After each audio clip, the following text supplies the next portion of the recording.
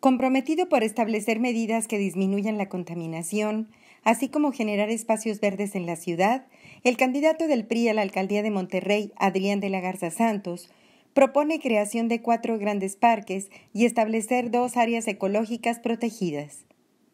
El abanderado tricolor dijo que estas medidas darán seguimiento a las acciones emprendidas durante su gestión como alcalde con la finalidad de tener una ciudad más verde y para generar aire limpio.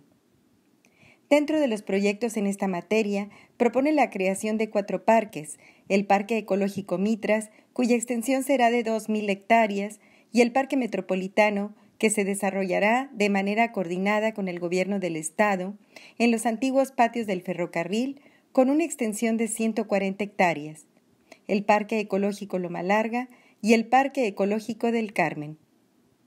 Además, ofrece preservar el Parque Cumbres y el Cerro de la Silla como pulmones naturales de nuestra ciudad y desarrollar alternativas sustentables para el aprovechamiento recreativo del lecho del río Santa Catarina. Estas acciones se sumarían al programa de arborización en plazas públicas y camellones y a la campaña de sensibilización ambiental entre la comunidad regiomontana. Durante su gestión como alcalde, se plantaron 14.000 árboles, de los cuales 97% del total están vivos. De ganar la reelección, buscará duplicar la cantidad.